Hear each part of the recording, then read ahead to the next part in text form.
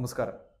പ്രധാനമന്ത്രിയുടെ വയനാട് സന്ദർശനത്തെ പുകഴ്ത്തിയുള്ള ലീഗ് സംസ്ഥാന സെക്രട്ടറി ഷാഫി ചാലിയത്തിന്റെ ഫേസ്ബുക്ക് പോസ്റ്റിനെതിരെ വ്യാപകമായ വിമർശനങ്ങളാണ് ഉയർന്നു വന്നുകൊണ്ടിരിക്കുന്നത്.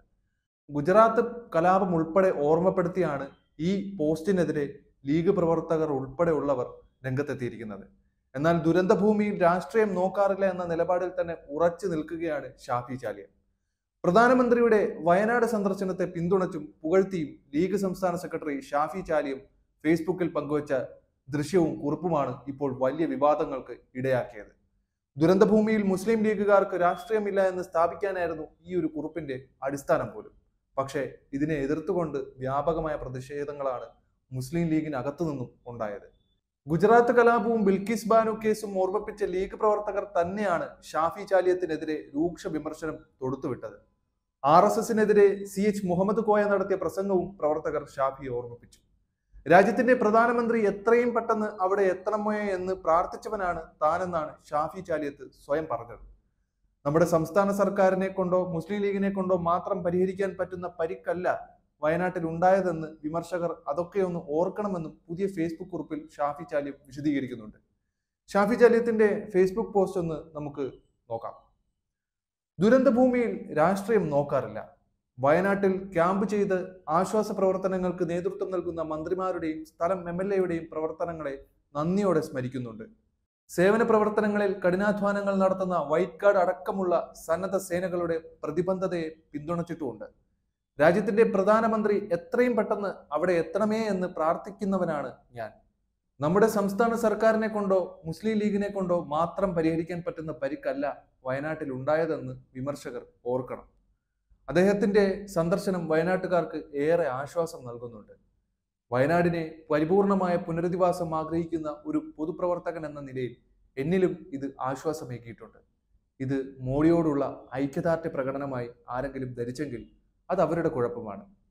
തന്നെ കാണാനും കവളിൽ തലോടാനും വന്ന വ്യക്തി രാജ്യത്തിന്റെ പ്രധാനമന്ത്രിയാണെന്നറിയാത്ത ആ കുരുന്നു കുഞ്ഞുങ്ങളുടെ ഭാവപ്രകടനം കണ്ടപ്പോൾ എന്റെ മനസ്സിലുണ്ടായ ആർദ്രതയാണ് ആ വീഡിയോ ഷെയർ ചെയ്യാൻ ഇടയാക്കിയത് മോദിയുടെ ക്രൂരമായ സംഘീയ ആശയങ്ങളോട് വിട്ടുവീഴ്ചയില്ലാതെ പോരാടുന്നവനാണ് ഞാനെന്നത് എന്റെ ഡിബേറ്റുകൾ കാണുന്നവർക്ക് ബോധ്യപ്പെടും. ഈ അഹമ്മദ് സാഹിബ് പ്രസിഡന്റ് ആയിരുന്ന കാലത്ത് പ്രധാനമന്ത്രിയുടെ ദുരിതാശ്വാസ നിധിയിലേക്ക് മുസ്ലിം ലീഗിന്റെ ധനസഹായം നരേന്ദ്രമോദിയുടെ കയ്യിലാണ് ഏൽപ്പിച്ചതെന്നത് ഓർക്കാവുന്നതാണ്. ദുരന്തമുഖത്ത് മുസ്ലിം ലീഗുകാർക്ക് രാഷ്ട്രീയമില്ല. ഇതാണ് അദ്ദേഹത്തിന്റെ ഫേസ്ബുക്ക് പോസ്റ്റ്. ഇദ്ദേഹം ഇതിൽ അവസാനം പറഞ്ഞ കാര്യത്തിലാണ് ഒരു തിരുത്തു വരുത്തേണ്ടത്. ദുരന്തഭൂമിയിൽ മുസ്ലിം ലീഗുകാർക്ക് രാഷ്ട്രീയമില്ലെന്ന് പോലും. മുസ്ലിം ലീഗുകാരും ആർ എസ് എസും രാഷ്ട്രീയ മുതലെടുപ്പും വർഗീയത ചുരുത്തുന്ന കാര്യത്തിൽ ഒട്ടും മോശമല്ലെന്നുള്ളത് നമുക്ക് എല്ലാവർക്കും അറിയാവുന്ന ഒരു വസ്തുതയാണ്. അതിനെയും വെള്ളപൂശാനായിട്ട് ഓരോ മൂരികൾ ഇറങ്ങിക്കോളും.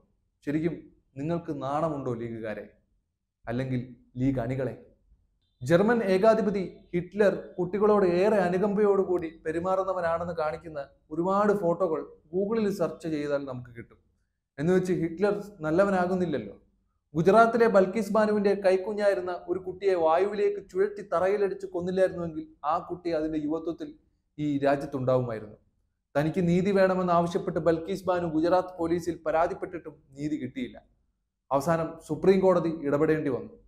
വിചാരണ കാലത്ത് ഗുജറാത്തിൽ പല സ്ഥലങ്ങളിൽ മാറി മാറി താമസിക്കേണ്ടി വന്ന ബൽക്കീസ് ബാനുവിന് അവസാനം നീതി ലഭിക്കുന്നത് വരെ മഹാരാഷ്ട്രയിലേക്ക് മാറേണ്ടി വന്നു എന്നുള്ളതാണ്. നീതിമാനും നാരീശക്തിയിൽ വിശ്വസിക്കുന്നവനും കുഞ്ഞുങ്ങളോട് അനുകമ്പയുള്ളവനുമായ താടിജിക്ക് തീർച്ചയായും ബൽക്കീസ് ബാനുവിനെ സംരക്ഷിക്കാമായിരുന്നു. പക്ഷെ ചെയ്തില്ല. വീടിന് സുരക്ഷ നൽകാമായിരുന്നു. നൽകിയതുമില്ല. അവസാനം കോടതി ശിക്ഷിച്ച് പ്രതികളെ പോലും പ്രത്യേക അധികാരം ഉപയോഗിച്ച് തുറന്നുവിട്ട് പൂമാലയിട്ട് സ്വീകരിച്ചതും നമ്മൾ കണ്ടതാണ്. ക്യാമറയ്ക്ക് വേണ്ടി കാണിക്കുന്ന അഭിനയങ്ങളല്ല പൊള്ളുന്ന യാഥാർത്ഥ്യങ്ങളാണ് നമ്മുടെ അഭിപ്രായങ്ങളെ രൂപപ്പെടുത്തേണ്ടത്. അത്രയും മോശപ്പെട്ട ഒരു പ്രസ്താവനയാണ് ഫേസ്ബുക്ക് കുറിപ്പിലൂടെ ഒരു ലീഗ് നേതാവിന്റെ ഭാഗത്തു നിന്നും ഉണ്ടായിരിക്കുന്നത്. നേരത്തെ സൂചിപ്പിച്ച പോലെ വർഗീയത ചുരത്തുന്ന കാര്യത്തിൽ ലീഗുകാരനും സംഘിയും ഒരേ തോണിയിൽ സഞ്ചരിക്കുന്ന ആൾക്കാരാണ്.